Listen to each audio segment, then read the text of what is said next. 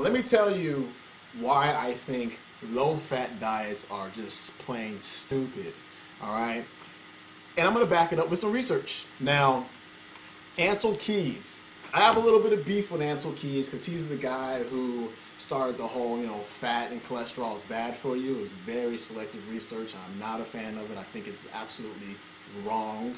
So the starvation study that he did was composed of 32 male subjects.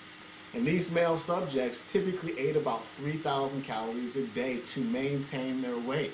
Now, did these guys lose weight? Yeah, they lost weight.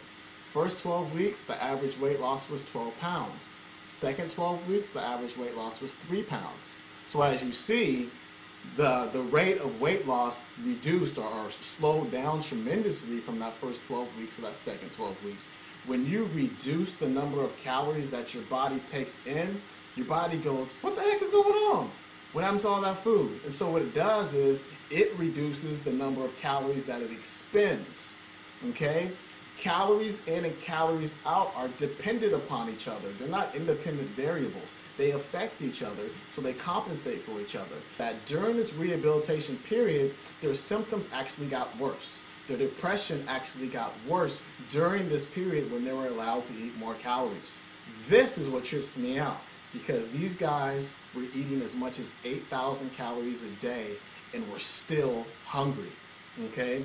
The low calorie diet somehow it, it, it, rearranged their body's ability to know when it was full. By the end of the rehabilitation period, the subjects had added an average of 10 pounds of fat to their pre-experiment levels.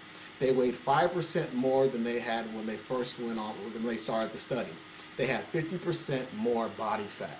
Like when people think about low calorie diets, like oh, 1,000 calories, 1,200 calories, 1,500 calories. That's not a low calorie diet. It's a semi starvation diet. If you look at the other side of the research, the diets that do work are the high fat, high protein, low carbohydrate diets, unlimited calories.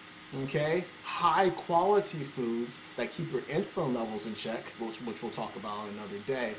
Those are the diets that guarantee long term success for the most part.